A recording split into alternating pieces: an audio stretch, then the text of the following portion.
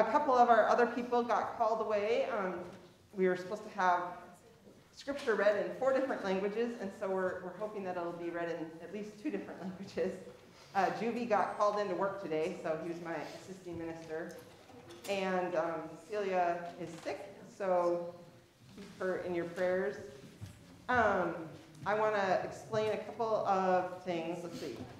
So, worship, we have been using reusable bulletins, and as I said in my letter that went out to um, everybody, um, this season we're going to go back to using our hymnals. So, if you turn to the front of your hymnal, um, to page 175, that's where you'll find our worship service.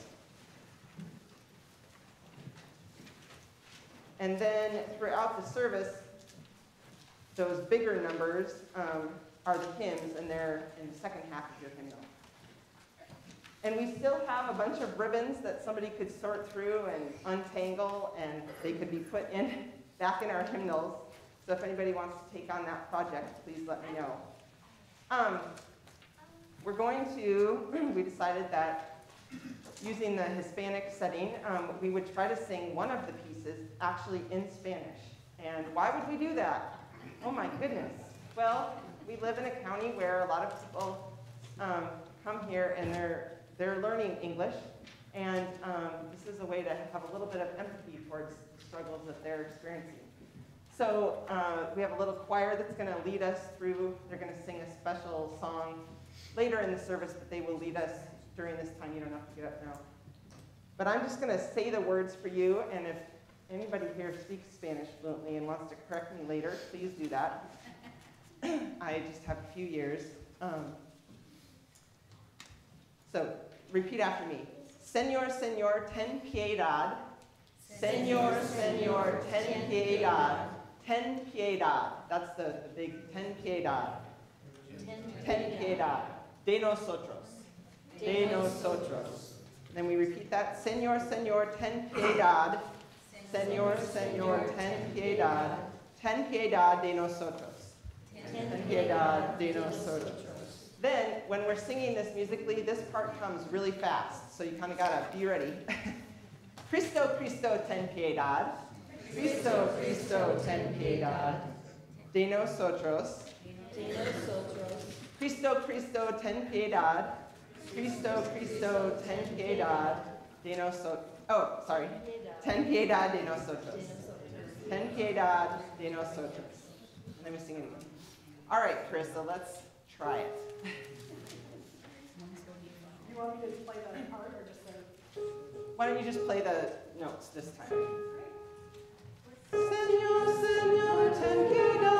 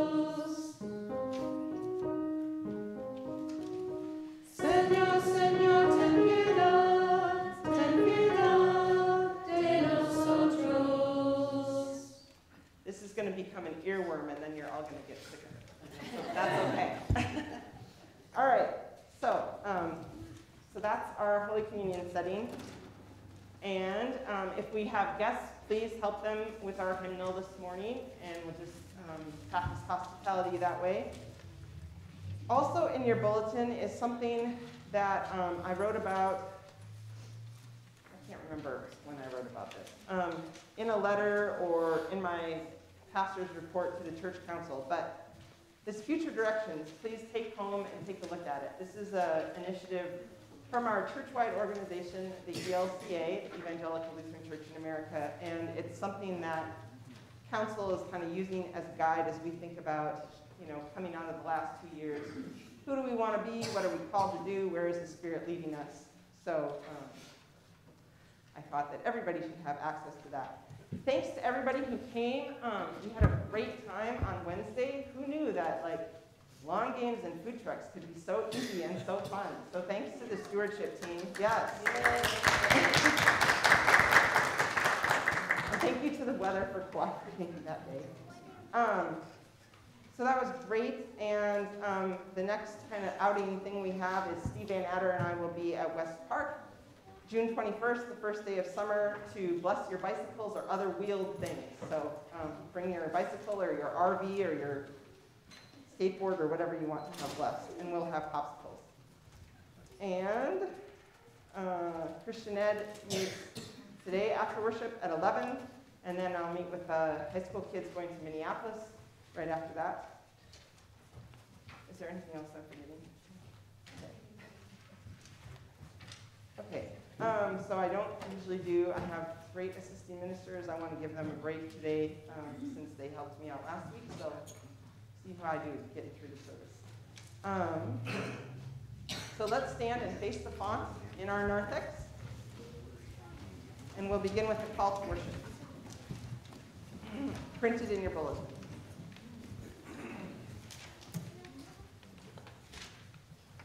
Jesus pro- promised, I will ask the Father, he will give you another advocate to help you and be with you forever.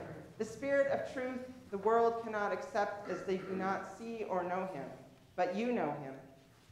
He lives with and within you. I will not leave you as orphans. I will come to you. Let's sing hymn 396 in your hymnal, Spirit of Gentleness.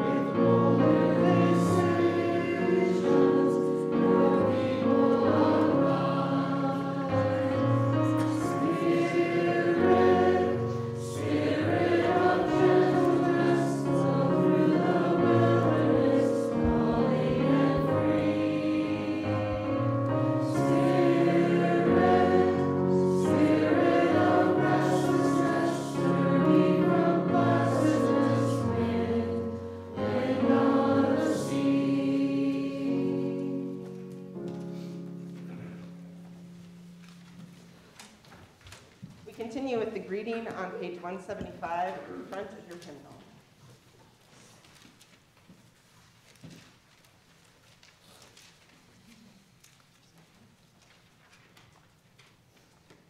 The grace of our Lord Jesus Christ, the love of God, and the communion of the Holy Spirit be with you all.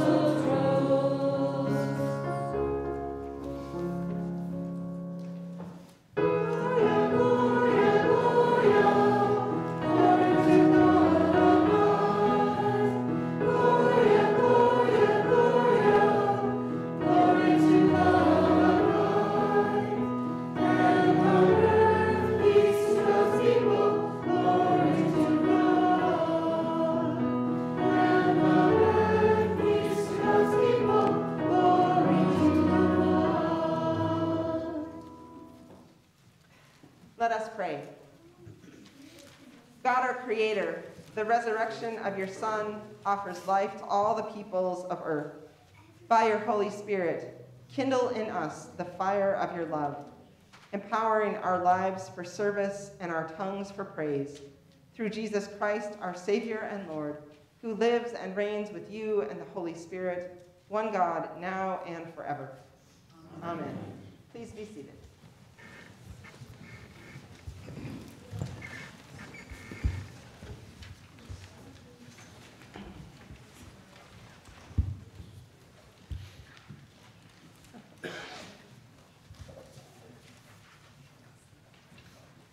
Reading from Acts chapter 2. When the day of Pentecost had come, the apostles were all together in one place. And suddenly from heaven there came a sound like the rush of a violent wind, and it filled the entire house where they were sitting. Divided tongues as of fire appeared among them, and a tongue rested on each of them. All of them were filled with the Holy Spirit and began to speak in other languages, as the Spirit gave them ability. Now there were devout Jews from every nation under heaven living in Jerusalem. And at this sound the crowd gathered and was bewildered, because each one heard them speaking in the native language of each. Amazed and astonished, they asked, Are not all these who are speaking Galileans? And how is it that we hear, each of us, in our own native language?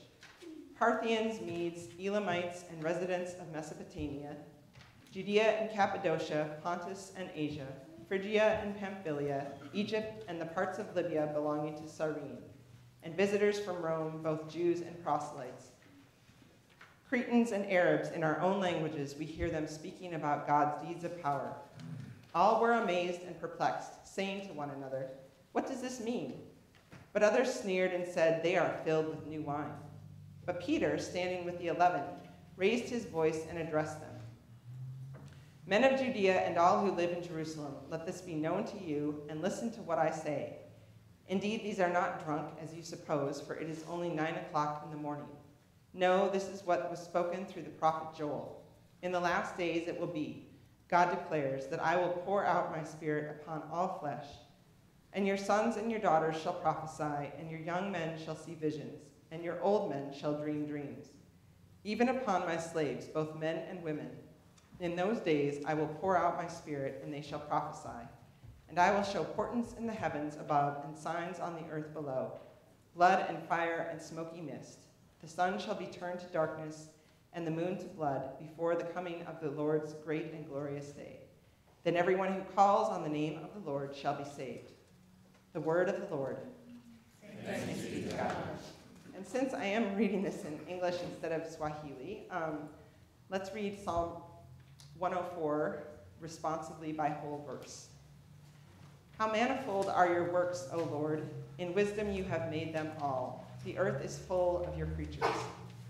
Yonder is the sea, Great and wide, with its swarms too many to number, living things so small and great.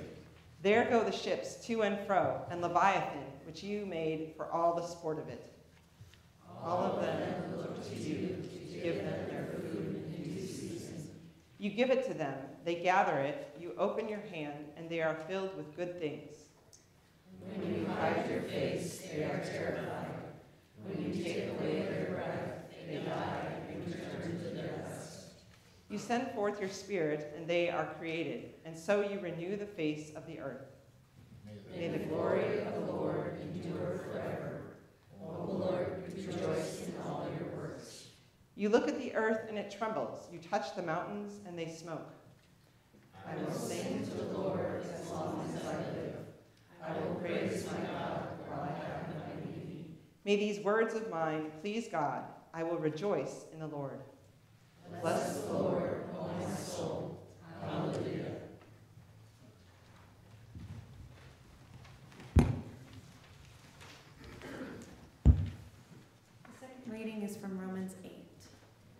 Denn welche der Geist Gottes trübt, die sind Gottes Kinder. Denn ihr habt nicht einen nektischen Geist empfangen, dass ihr auch fruchten müsstet, sondern ihr habt einen kindlichen Geist empfangen, durch welchen wir rufen, aber, liebe Vater. Der Geist gibt Zeugnis unserem Geist, dass wir Gottes Kinder sind. Sind wir aber Kinder, so sind wir auch Erben, nämlich Gottes Erben und Mitwähren Christi, wenn anders wir mitleiden, auf dass wir auch mit so Herrlichkeits Erben werden. Word of God, Word of life. Thanks be to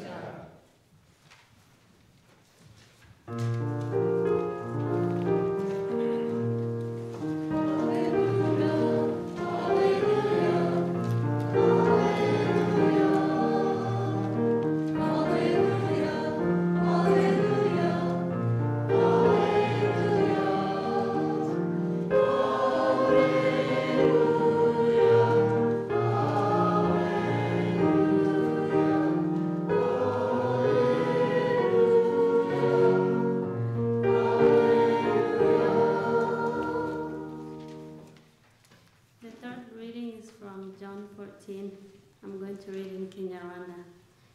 Filipo aramubwira ati databuja twereke data wa twese biraba bihagije yesu aramusubiza ati nabanye namwe iminsi ingana ityo kandi ntimwari mwamenya.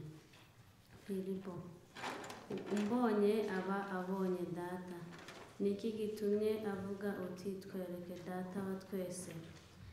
Ntiwizeye yuko ndi muri data na data akaba ari muri nje ahubwo data uguma muri nje ni we mere ko ndi muri data na data akaba ari muri nje munyizezwe n'imirimo nkora ahubwo ni, ukuri ni ukuri mbabwira yuko unyizere imirimo nkora nawe akayikora ndetse ndetse azakora n'iyiruta kuko kuko ryose mu izina ryanjye nzagikorera nzagikorera kugira ngo data yubahirizwe mu mwana we nimugira ngo nimugira icyo musaba cyose mu izina ryanjye muzakibona.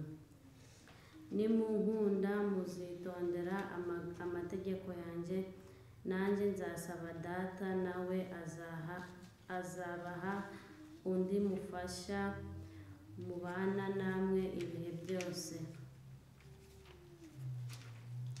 Ibyo mbibabwiye nkiri kumwe namwe ariko umufasha ari we umwuka wera uwo data azatuma mu izina ryanjye nanjye ni we uzaba ni we uzabigisha byose ab- abibutse ibyo nababwiye byose.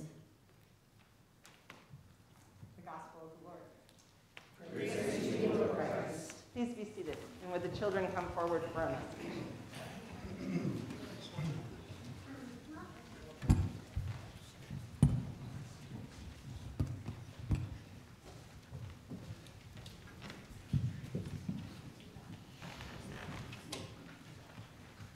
Okay, Abby, what was your question this morning? Um, why is it all red? Why is it all red? Yeah, okay, so have you gotten some sense yet? Any themes? Anything we've sung a lot about already, congregation? The Holy Spirit, yeah, the Holy Spirit. Oh, okay. So, um, yes, and we have red. What is on, what symbols do you see on all of our red pyramids? Raise your hand and I'll give you the microphone. Okay. Fire? Fire, yes. Water? Where do you see water? Well, I don't know. Maybe. What about this thing? What's this? You know what that is? Fire? No, this thing.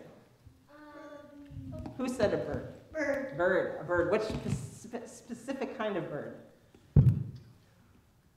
Dove. Nice. Okay, so we got fire. So the fire, the tongues of fire, um, you know how you can picture a campfire coming up, right? And there's little tongues of fire. So that's why red, because fire is red. What else looks kind of like shimmering fire in our sanctuary? Yeah, what's, isn't that, this is pretty, right? Yeah, we just love it. And where were the other doves that you passed on the way in? Um, You see them? Yeah, out above the, what's that thing out there? The baptismal font. Mm-hmm. All the doves hanging out there. Okay, so let me see your tongues. All right, there we go. See? Tongues of fire rested on all of these people in Jerusalem. And then they were able to speak in such a way that even though they were speaking all different languages, like we heard a little bit this morning, they were able to understand. So see, it's a double use of the word tongues. Tongues of fire, and then the tongues that we were people were speaking with. So that's that's the that's Pentecost. And in your bulletins, um, your kids' bulletins, sometimes we talk about this being. We'll see what the if the congregation is smart enough to answer this question. The birthday of what? The church. The church, yes. So sometimes I don't know if Penelope is doing coffee hour. She brought a birthday cake. Cupcakes. Oh, cupcakes. Okay, so yes, yes. So birthday of the church. Now, no, nobody will pay attention for the rest of worship because we're just excited about the cupcakes. Okay, so we can sing Happy Birthday Church during fellowship time. What do you think of that? Good. Okay. Thanks for coming up. Now you know Pentecost. You can take it.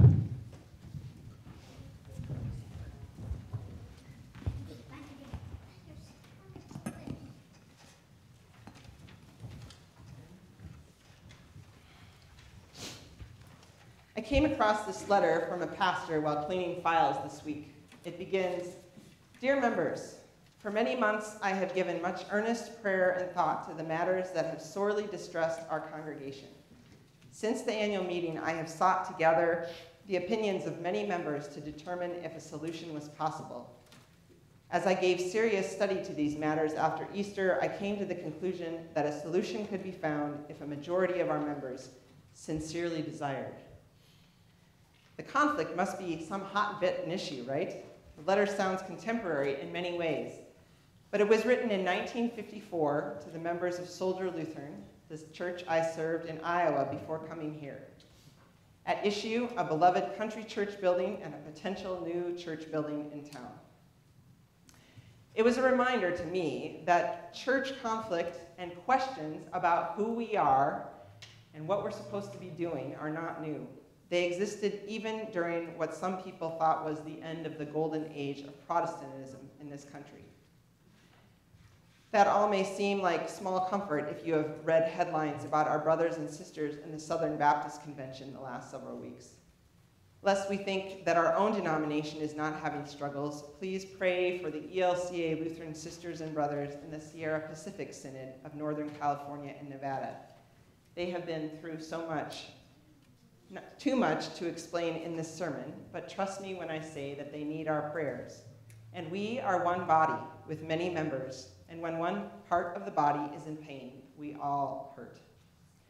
Trouble, of course, is not contained within the church community. There are many days when these times feel unprecedented. The world is a mess. I have been watching an old crime show which aired during my teenage years at first, and I'm astonished by the relevancy of the themes gun violence, children dying because parents depend only on faith healings, immigrants fleeing Central America's Northern Triangle, fights about who controls a woman's body, and systemic racism. It's all there. What is a community of people trying to follow Jesus supposed to do exactly? Which issues do we address and how? Those are the big issues facing society. What about our families and workplaces and our own interpersonal circles? What should take priority? How are we to live? We say we are followers of Jesus. What precisely does that look like here and now? We might think it would be so much easier if Jesus would come again and simply tell us how to live and what to do. We would listen, right? 50 days after Easter, it's easy to forget the way of life Jesus taught, the reign of God he began to usher in, the way of life he lived each day actually cost him his life. It is his very absence that he speaks about and anticipates in today's gospel reading from John. He is slowly and deliberately preparing his followers for his absence. In his farewell speech, Jesus calls the Holy Spirit the Paraclete, sometimes translated as counselor. Throughout the farewell speech, the Paraclete is depicted as a teacher and a witness. It is with these actions of teaching and witnessing that the Paraclete will form and shape Christian community. We heard today that the Paraclete will remind you of all that I have said to you. This is helpful because I don't think we often consider the Holy Spirit's role as one who reminds or who causes us to remember as a community. After Jesus' resurrection from the dead, the disciples remembered what Jesus had said and done, and they were brought to deeper understanding and faith. In other words, the Paraclete does not teach new things, but keeps Jesus' own teachings alive in the post resurrection community. Later in the farewell speech, Jesus says, I still have many things to say to you, but you cannot bear them now. When the Spirit of truth comes, he will guide you into all truth. Here, Jesus points to the importance of fresh encounters with the words of Jesus. These encounters will be given at the time of need, not in advance of that time. Jesus identifies the Paraclete as the medium for those encounters. 2,000 years later, these descriptions of the Paraclete should give us comfort and assurance. We also are not left orphaned, even though Jesus is not present as he was with his first disciples. The Paraclete enables past, present, and future to converge in the life of the church. The Paraclete enables the words of Jesus to resound afresh in ever changing circumstances. On the one hand, the Paraclete's role is essentially conserving. The Paraclete enables the Christian community, including in our time, to reach back to the teachings of Jesus and remember, to bring Jesus' teachings to life afresh with new understanding. That's the work I try to do every time I step into this space, to bring Jesus' teachings to life with new understanding but it's also what was on display when our confirmants told their faith stories. It's the work we do on Monday mornings right now as we study Luke's gospel. And it is the work our church council and teams do when they read the words of Jesus and ask how those words inform our mission today. At the same time, the Paraclete's role is also creative. The Paraclete enables the word of Jesus to move forward from its moment in history to the present life of the church. The Paraclete gives new meanings to the teachings of Jesus as the changing circumstances of faith communities and the world demand. Several members have helped me remember the important role of our imaginations in this moment.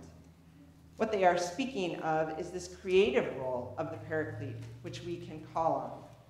Not every situation we face today as individuals or as communities was imagined in the Gospels. One teacher wrote, biblical stories often refuse to provide all the information we readers desire. but that void of information opens a space in which we can read our lives into the story. The Paraclete ensures that there is an ongoing communication between Jesus and the contemporary communities of faith. The Paraclete's teaching, witness, and interpretation can take many forms in the life of the faith community. One scholar wrote, Story and interpretation, history and theology are inseparably linked in the life of Jesus and the church. It is incumbent upon the faith community, us, to engage in conversations between the story of Jesus and our own stories. The goal is not a pure understanding of church doctrine.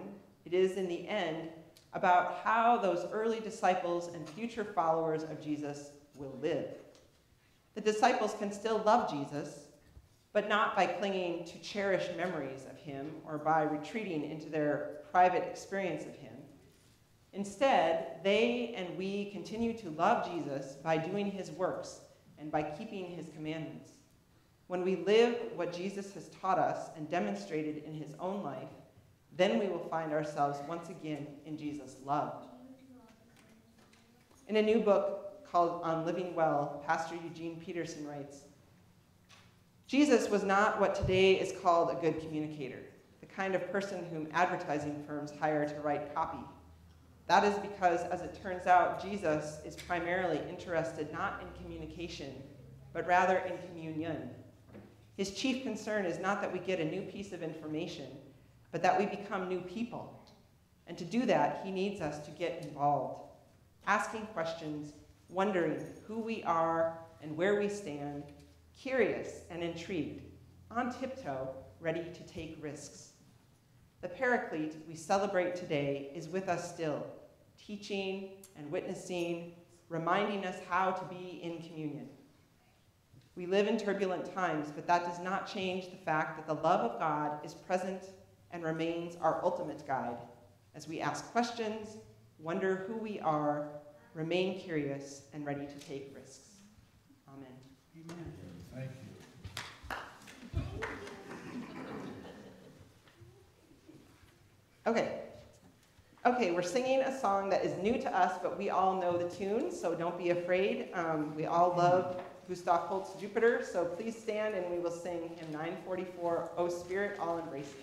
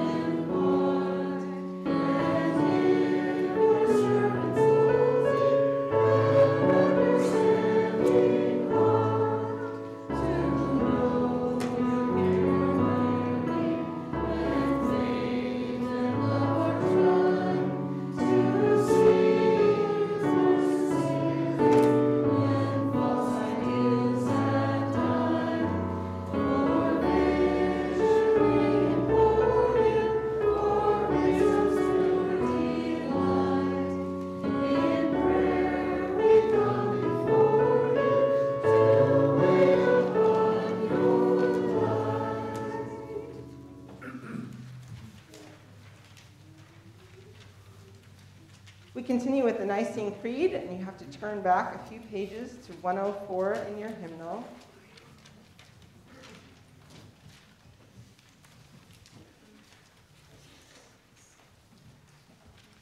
With the whole people of God, let us confess our faith. We believe in one God, the Father, the Almighty, maker of heaven and earth, of all that is seen and unseen. We believe in one Lord Jesus Christ, the only Son of God, eternally begotten of the Father, God from God, light from light, true God from true God, begotten, not made, of one being with the Father. Through him all things were made. For us and for our salvation, he came down from heaven, was incarnate of the Holy Spirit and the Virgin Mary, and became truly human. For our sake, he was crucified under Pontius Pilate. He suffered death and was buried. On the third day, he rose again, in accordance with the Scriptures. He ascended into heaven and is seated at the right hand of the Father. He will come again to judge, to judge the living and the dead, and his kingdom will have no end. We believe in the Holy Spirit, the Lord, the giver of life, who proceeds from the Father and the Son, who with the Father and the Son is worshipped and glorified, who has spoken through the prophets. We believe in one holy Catholic and apostolic church. We acknowledge one baptism for the forgiveness of sins. We look for the resurrection of the dead and the life of the world to come. Amen. Set free from captivity to sin and death, we pray to the God of resurrection for the church, people in need, and all of creation. Holy living one, holy moving one, burst open our locked doors, and by your Spirit drive us out into the world proclaiming your mighty deeds. Direct our words and actions, trusting the advocate abiding in and among us. God, in your mercy, hear our prayer. Feed and care for creatures that remain hidden to us, yet contribute to the vibrancy of your creation. Train us to interact with creation from a place of wonder, awe, and reverence. God, in your mercy, hear our prayer. Send your spirit to places where language is a barrier to justice and mercy for those who seek it. Bless the work of translators, interpreters, and teachers. Promote understanding for the sake of those longing for true freedom and peace. God, in your mercy. Comfort all who live in constant fear and any who are suffering. Remind them that your Spirit has made them your children and that they are never far from your glory. God, in your mercy. Hear our prayer. Guide all bishops, pastors, missionaries, and other ministers of the gospel, as you did for Boniface, whom we commemorate today. Foster our relationships with partner synods and local ministry partners, that our visions and actions are spirit led. God, in your mercy. Gather your people across regions, nations, and lands. Root our common life in the life, death, and resurrection of Christ. And by your Spirit, bind us together with all the saints who have gone before us. God, in your mercy. In your mercy, O God, respond to these prayers and renew us by your life giving Spirit. Through Jesus Christ, our Savior. Amen. The peace of the Lord be with you all. Share a sign of peace.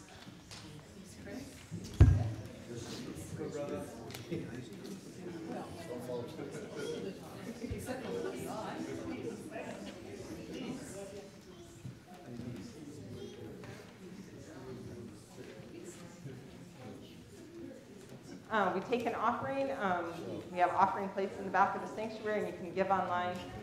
Please be seated for a musical offering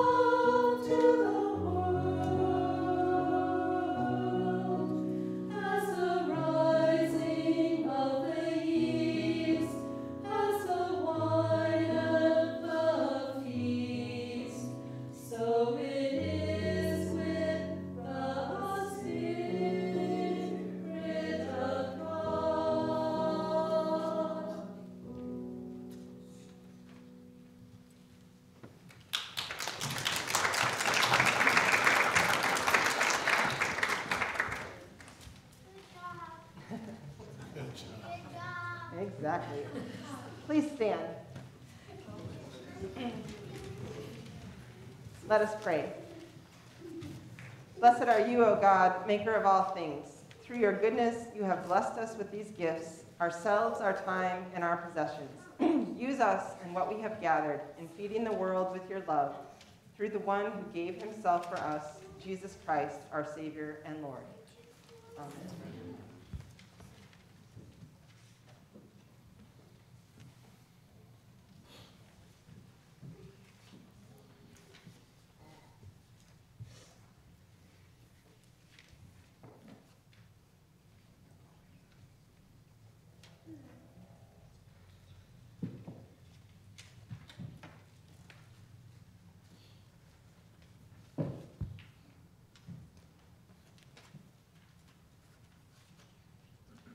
The Lord be with you.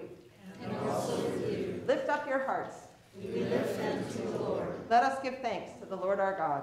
It is right to give our thanks and praise. It is indeed right, our duty and our joy, that we should at all times and in all places give thanks and praise to you, Almighty and merciful God, through our Savior Jesus Christ. Fulfilling the promise of the resurrection, you pour out the fire of your Spirit, uniting in one body people of every nation and tongue. And so, with Mary Magdalene and Peter and all the witnesses of the resurrections, with earth and sea and all their creatures, and with angels and archangels, cherubim and seraphim, we praise your name and join their unending hymn.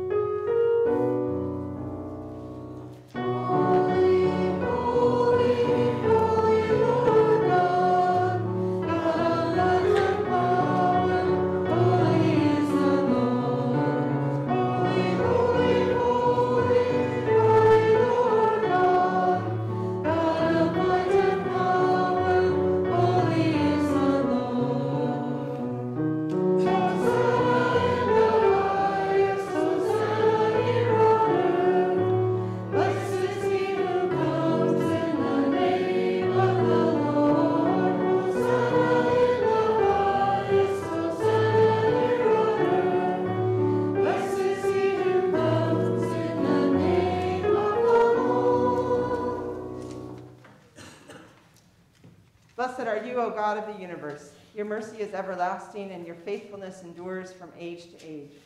Praise to you for creating the heavens and the earth. Praise to you for saving the earth from the waters of the flood. Praise to you for bringing the Israelites safely through the sea. Praise to you for leading your people through the wilderness to the land of milk and honey. Praise to you for the words and deeds of Jesus, your anointed one. Praise to you for the death and resurrection of Christ. Praise to you for your spirit poured out on all nations. In the night in which he was betrayed, our Lord Jesus took bread and gave thanks, broke it, and gave it to his disciples, saying, Take and eat. This is my body given for you. Do this for the remembrance of me. Again, after supper, he took the cup, gave thanks, and gave it for all to drink, saying, This cup is the new covenant in my blood, shed for you and for all people for the forgiveness of sin. Do this to the remembrance of me. O God of resurrection and new life, pour out your Holy Spirit on us and on these gifts of bread and wine. Bless this feast, grace our table with your presence. Reveal yourself to us in the breaking of the bread. Raise us up as the body of Christ for the world. Breathe new life into us. Send us forth burning with justice, peace, and love. With your holy ones of all times and places, with the earth and all its creatures, with sun and moon and stars, we praise you, O God, blessed and holy Trinity, now and forever. Amen.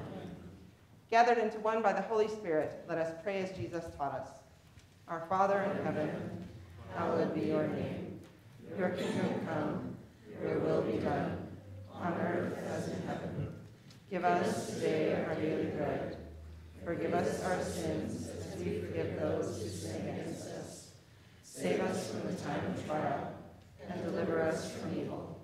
For the kingdom, the power, and the glory are yours, now and forever. Amen. The gifts of God for the people of God. Come to the banquet, for all is now ready. All are welcome, for Jesus invites us. Please be seated. So we have some songs to sing as we distribute communion. Um, please wait for the accompanists and worship leaders to commune first. And for this season, we would like four household units around the altar at a time. Children and adults, of course, are both welcome. Um, Wine is on the outside of our tray and grape juice is in the center, and please let me know if you need a gluten-free wafer. Gifts of God for the people of God.